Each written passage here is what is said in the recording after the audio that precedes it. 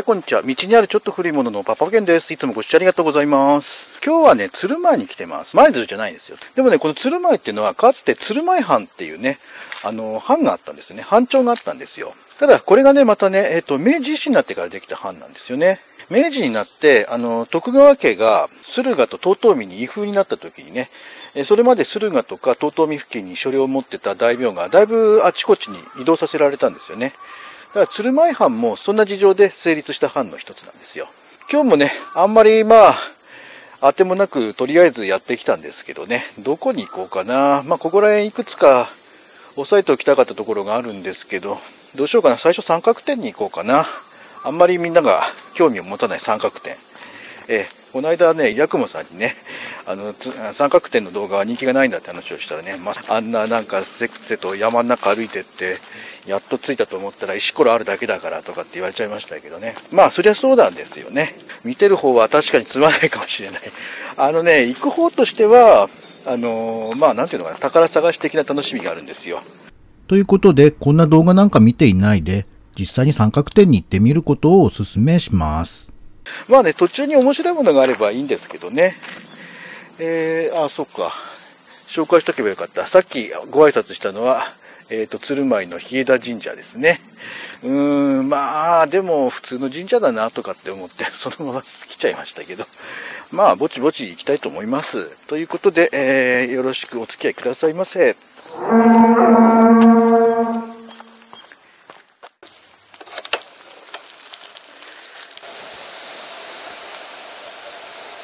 えさっき出たのは鶴舞公園っていうところの駐車場です。ここからちょちょちょっと最初の三角点はこの近くにあるはずなんだけど。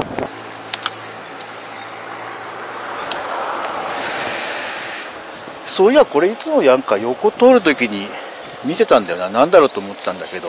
お寺さんですね。鶴舞不動尊。ちょっと見てきましょうか。猫が休んでる。まあまあ普通のお寺ですね。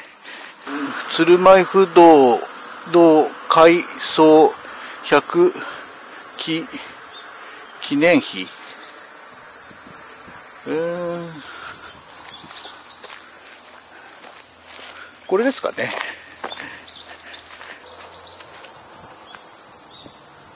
お、ダム穴だ。なぜか鳥居があるという。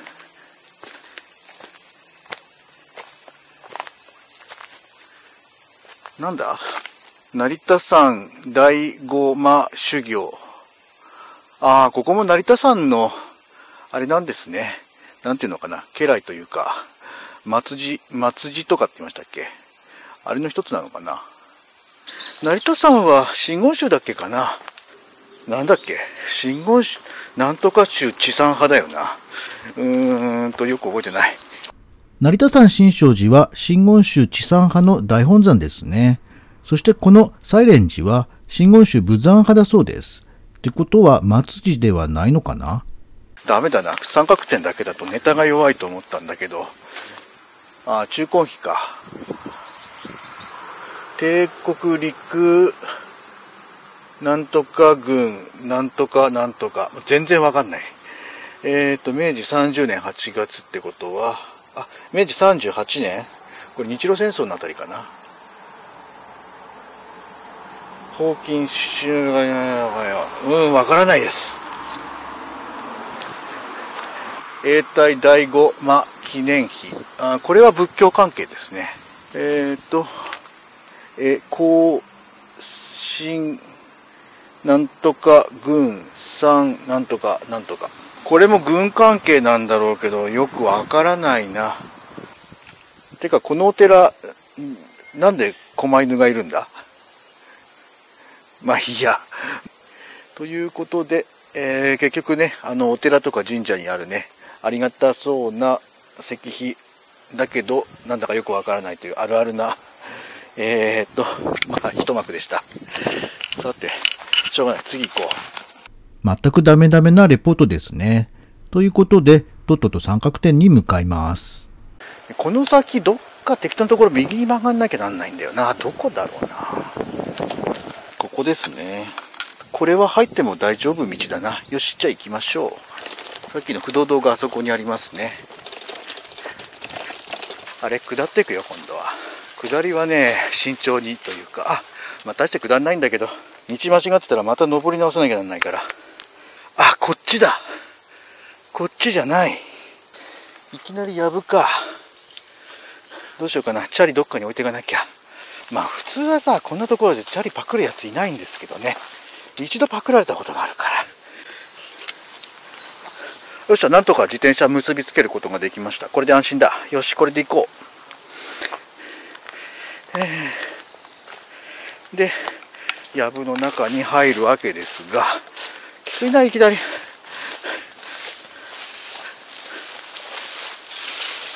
ょっと。うわいきなり痛い痛い木だ。ほんとこれでいいのかな。うわ。蜘蛛の巣が。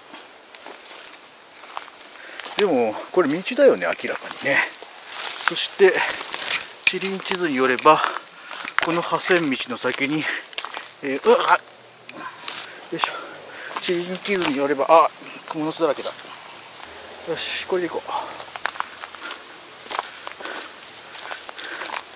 まあ、地理院地図によればね、この破線道の先に三角点が、あれ？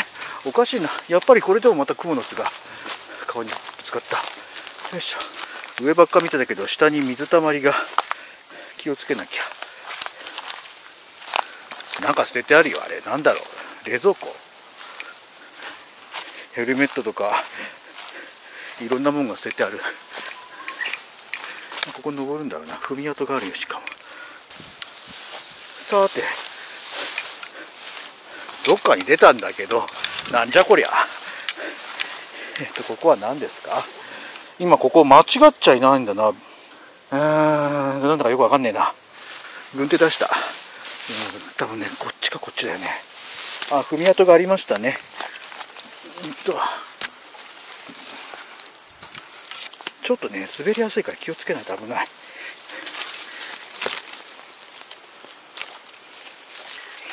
国土地理院この作業道そうか破線道で書くか。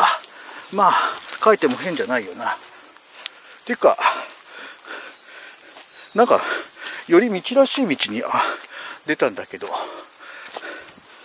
どっから突ってたんだろうこの道。えー、こっちから来たんだよ。うん。まあどっかに道あるんだろうなまあいいやおおっかない危なそうな斜面がマジでこれ落ちたらやばいよね。落ちたらやばいと思うと、ちょっと急に震えが来るんですよね、人間というのは。逆バンクでさ、あそこなんか踏んだら絶対やばいでしょ。よし、よかったよかった。てか帰りも通んなきゃなんないのか。嫌だな。帰りは別の道探そう。多分この上じゃないかと思うんだけど、えー、っと、地図とは全然道が違ってるような気もするんだけど、でも確かにこれは一応踏み跡だな。多分ここら辺じゃないかなと思うんだよね、勝手に。想像。ここから真北に10メートルか20メートルってとこですね。北、あっち？でも下ってくんだよなよっしょ。まあこの稜線上にあるんでしょう。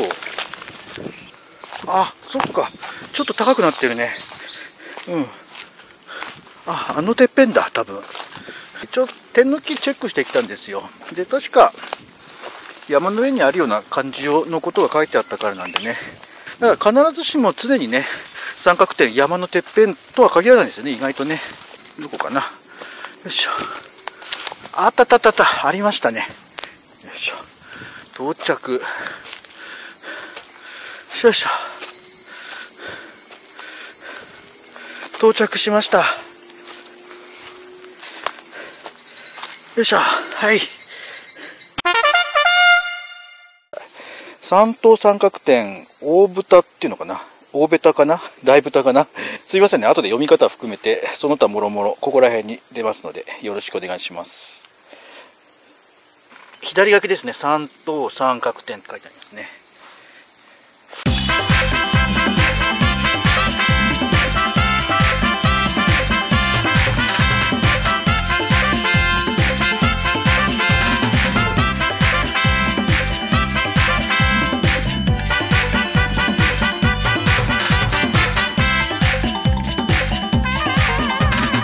今日帽子持ってくるの忘れちゃったんだけど一応やっときますかね。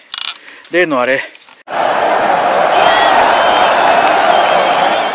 やっぱりたどり着いても特にやるべきことはありませんでした。えー、さて帰ろうと思うんですけどね。えー、さっき来た道はこっちなんですよ。で、なんとなくこっちにも踏み跡っぽいのがあるようにも見えるんですけどね。ただね、地理院地図見るとこの先は道ないことになってるんですよね。で、ついでに言うとね、この先うまく向こうの集落を降りることができても、実は自転車から随分離れちゃうんですよね。またちょっとだ。うん、おそらく自転車あっちの方だから、うーん、まあ、こっちに普通に帰りますか。さっき途中で太そうな道っぽいものにぶつかりましたよね。ちょっと試しにそっちの方行ってみようかな。まあこの規模の山ですからね、滑落とかして怪我とかしたりしなければ問題はないはずなんで、とりあえずね、怪我にだけは注意していきたいと思います。うん、さっきそっちから来たんですよね。だけど、こっちになんかないかな。地形図だとね、このまままっすぐ行くと、あの、さっきのところに出られるはずなんですけど、まあ、最悪さっきの道行きます、戻ればいいんですけどね。あ、下に道がある。これさっき通ったところだ。で、ここで合流するのかなあれ？あ、なんか、道じゃないんだけど、行けそうな雰囲気の斜面だ。これ行ってみよう。うわ、一つの裏庭に出ちゃうかな、これ。そしたらごめんなさいですね。ああ、な感じだ。民家の裏庭をかすめるようにして車道に復帰しました。なので途中カットです。微妙な感じだったけど、とりあえず、横のところ取ってきちゃいましたけど。っていうかこれ、ドンピシャいい感じの場所に出てこられたような気がする。